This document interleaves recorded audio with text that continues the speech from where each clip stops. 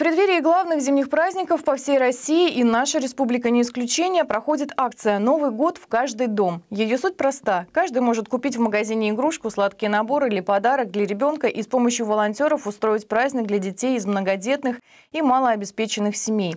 Акция уже стартовала в Ишкарале. В ней приняли участие мои коллеги.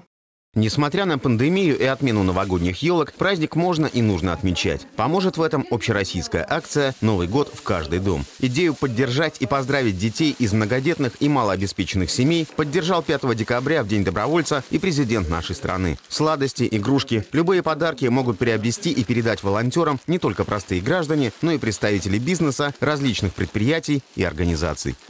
В преддверии Нового года стартовала акция «Новый год в каждый дом».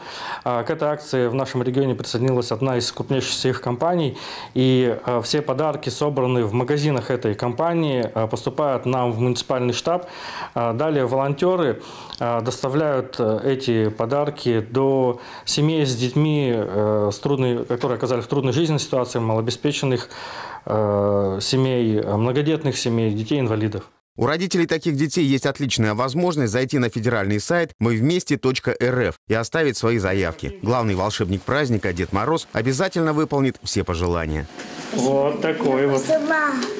Держи. Сможешь? Держи. Давай, пока-пока. Просто так уйти у Деда Мороза не получилось. Его перехватил юный житель столицы и также получил свой новогодний подарок. Конфет. Что сказать-то надо? Спасибо.